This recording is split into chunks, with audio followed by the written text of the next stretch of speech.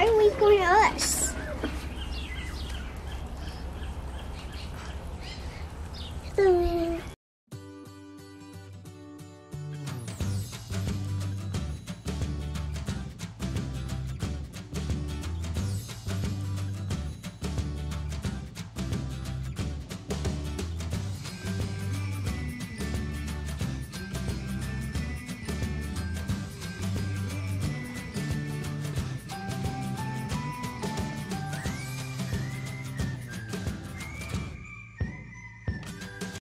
And actually, I need you to, um, I want to undo that so we can fill up the watering can with water.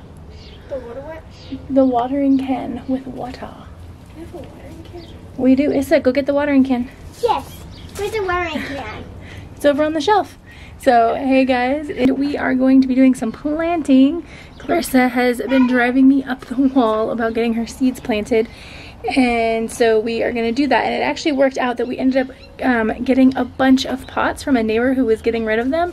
So I was pretty excited for having a like zero waste option for that. It just wasn't um, wasn't thrilled with buying new. Like I really wanted used and I'd been trying to look around for like buckets and different things that I could use for our container gardening and I just wasn't having any luck. And then like the next day, uh, my neighbor across the street posted in our neighborhood little Facebook group that she uh, wanted to get rid of a bunch of pots. So now I have a whole bunch of pots. We have like these guys all right here that we're gonna use for our various plants.